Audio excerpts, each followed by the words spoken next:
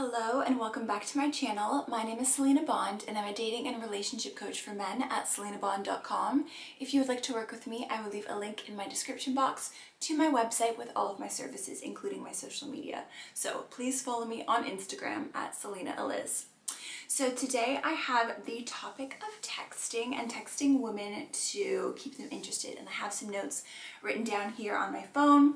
I have three steps, super simple. I probably could have made a reel um, or a TikTok on this and I might to maybe expand a little bit more on it. But the main reason why I created this video was I need to preface something because I'm finding it super common that on a lot of my TikToks that men are commenting this and I wasn't going to really bring attention to it, but um, there is a lot of hurt and darkness in the world and I know everyone's going through something on some sort of capacity and level, but the amount of men that are commenting saying that um, why do we have to text women to keep them interested? Why do we have to pursue them? Why do we have to do this? Why is dating so easy for women? Um, saying women are the problem. There is so much blame and division. It's crazy. It's literally insane.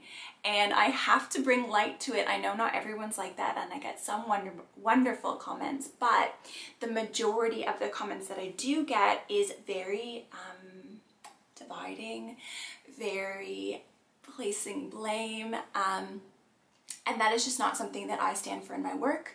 Everyone that I work with works with me because they see my value and because I don't take any excuses.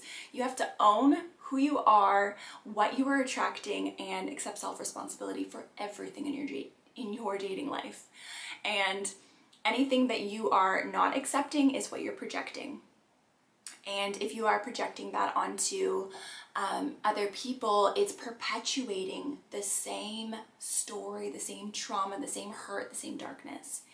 And I want to just say that because the tips and things that I share in my videos and what I help through my work is to help you evolve to a higher level and, and consciousness of self higher level of self-awareness, expansion, connection, love. So let's just say that because this video, even though it is labeled as how to text women to keep them interested, as you know, most of my titles are a little bit for the algorithm. That is just what you have to do to get the message out there to a broader audience. But as you all know, when you watch all of my videos, I do go deeper into each topic and give you the best well-rounded version of, of advice, knowledge that I can share with you um, without, you know, for free, without me um, knowing you personally. That's why people work with me as a coach, because if we do, then we can kind of get to the root of each individual person's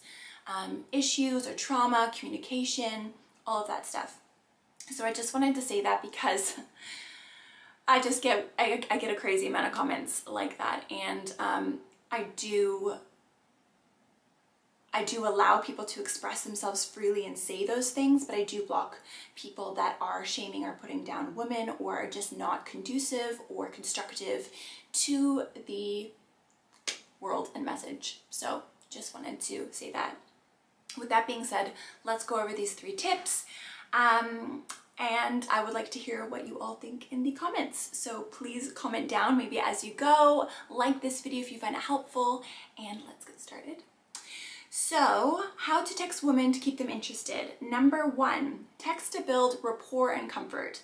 So I've been getting a few questions on TikTok as well on how to kind of build rapport. So building rapport is finding commonalities, common interests, common passions. You want to get on the same page with what you are both um, enjoying, uh, maybe what your same morals are things like that. Um, and through building that kind of rapport, you will eventually build comfort if you're doing it right. And when a woman is comfortable with you, she's a little bit more open. Maybe she's sharing things about her family or what she hopes for the future, what she's working on in the present.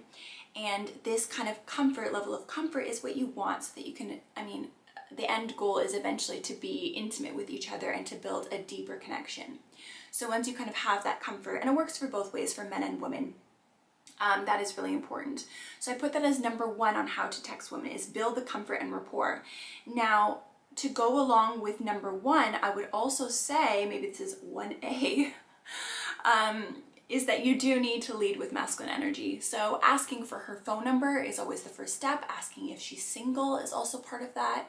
Um, I do have a reel on what is important to be aware of before you are building comfort and rapport. Make sure she's single, super helpful. Ask for her phone number. Um, that is also a good go. And you can even kind of ask, you know, if she's interested. Usually if she's going to give you her phone number, she's more than likely interested. Um, I mean, she might give you her phone number to get rid of you. I know some women do ghost. I mean, it happens. I don't feel we should put blame on women, but she might also give you her phone number because in that moment, that's what she feels comfortable in doing, but perhaps she might change her mind, or maybe she just did it in the moment because of how the approach was and, and she didn't know what else to do and she felt a bit cornered. There's lots of reasons. We have to be a little bit empathetic with the situation. Women are very understanding of how men approach. Um, I always give men, uh, you know, kudos and compliments in the way when they're really confident and they approach a woman. I think it's it's really beautiful and I'm you know I'm glad that they're going after what they want. That masculine energy is always appreciated. We need more of it in this world. So I just want to say that that is an important energy to lead with. I do have a free energy chart which if you've been following my Instagram you know I've been talking about a lot. That is planning to come out ASAP, um, depending when this video goes up. So definitely DM me your email if you're interested in that and how to balance your energies within dating and relationships. But super important to lead with the masculine energy so that you can uh, lead with the intent of building rapport and comfort. So that's part of number one. Number two would be to plan the date. I feel like maybe guys are waiting for a sign of when it's ready to plan a date uh, when she is going to accept and say yes. And it is important to kind of know the social cues, the verbal cues of when she is ready, and I can help you with that as a coach. But once you kind of get that feeling, plan the date, confirm, secure the day, place, and time, and get that going. Don't be waiting weeks and weeks um, of building this comfort and rapport because chances are, and you should be doing this too, she's talking to other people and time is of the essence. You want to get her in person and really build that connection in person. Texting is only to plan the date. Do not keep these long um, textual relationships, video call relationships. I mean, I guess uh, if you are long distance, there are certain things that you kind of have to do. And I do have videos on virtual dating, which I will probably link up here. But um, it is important to get the person in person, which is why I don't recommend having these emotional relationships and connections over texting and over video calls. And I know that was very prevalent during this time in the world with lockdowns and such, but let's not make that the norm. That is not the new normal, and we need to continue having in-person contact and connections. So that was number two, text to plan the date.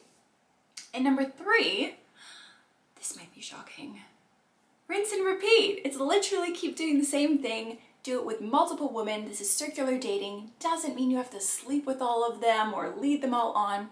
It's you just connecting with different women and spreading out your energy so that it's not all needy energy on just one woman. And it's like all your eggs in one basket, do or die. No, you want to rinse and repeat with multiple women um, for weeks, you know, go on a few dates a week and just make it a really casual, fun part of your social life, of you connecting with different people. Perhaps not everyone's going to be your cup of tea, but that's life. It's the same with when you're making friends, you know, when you're in school, in the playground, not everyone's going to be your BFF. You know, you're not going to connect with everyone right away, but those people that you do, those are the people that you want to continually hang out with, build that comfort and rapport and build that connection with them. And who knows, it could be your lifelong partner that you've been dreaming of. So you kind of do have to put in the reps, put in the effort, and um, that's what's going to give you the results. Now, the last part of this is to keep them interested. So to keep them interested goes back to number one. You're gonna keep someone interested in the conversation if you are leading with that masculine energy that is being polarizing. And if you want to attract that feminine energy woman, it's important to be polarizing, which is why I emphasize so much about my energy cheat sheet, chart, whatever I'm calling it. it's super important to understand both sides of the chart, both sides of masculine energy and feminine energy, so that you can be polarizing, you can spark interest, and you can create this intriguing, mysterious persona, but that's a lot of fun, that's playful, um, that's definitive, decisive. There's so many different qualities that you can add to your repertoire and really lead with and um, speak with and, and with your body and with your words. So please DM me on Instagram if you are interested in that free chart that I myself have created, super proud of.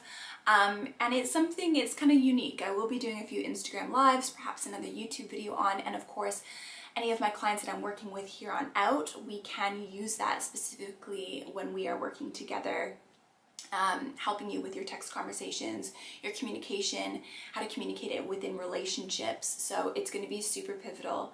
I'm super excited about it. So please let me know what you think in the comments below. Uh, like and subscribe if you haven't already. And I want to hear what you think because um, I know it's been crazy weird times texting people and trying to build connections in this world. So I want to know what are the kind of issues that you've been dealing with and how can I help you move through that and evolve into the best version of you.